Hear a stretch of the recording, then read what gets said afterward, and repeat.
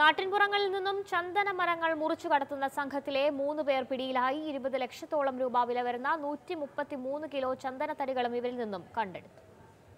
കണ്ണൂർ ജില്ലയിലെ തലവിൽ കേന്ദ്രീകരിച്ച് ചന്ദനമരകൾ മുറിച്ചു കടത്തുന്ന സംഘം പ്രവർത്തിക്കുന്നുണ്ടെന്ന രഹസ്യവിവരത്തെ തുടർന്നാണ് വനംവകുപ്പ് പരിശോധന തുടങ്ങിയത്.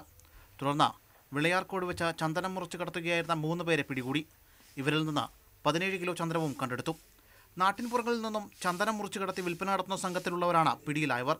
വെള്ളൂർ സ്വദേശികളായ ഗോപാലകൃഷ്ണൻ ബിനേഷ് കുമാർ പ്രദീപ് എന്നിവരാണ് പിടിയിലായത്. ഇവരുടെ കൂടെയുള്ള വെള്ളൂർ സ്വദേശി ഷിബു ഓടി രക്ഷപ്പെട്ടു. ഒടുവിലായ പ്രതികൾക്ക് വേണ്ടിയുള്ള തിരച്ചിൽ നടന്നുകൊണ്ടിരിക്കുകയാണ്. പ്രതികളിൽ നിന്നും കണ്ടെടുത്ത ചന്ദനം പിന്നെ അതിനുപയോഗിക്കുന്ന ആയുധങ്ങൾ വേയിങ് മെഷീൻ വാഹനം എന്നിവ വനംവകുപ്പ് തന്നെ കണ്ടുകെട്ടുന്ന നടപടികളിലേക്ക് പോയിക്കൊണ്ടിരിക്കുകയാണ്. കേരള വന നിയമപ്രകാരം ചന്ദനവും വാഹനങ്ങളും എല്ലാം സർക്കാരിലേക്ക് കണ്ടുകെട്ടുന്നതാണ്.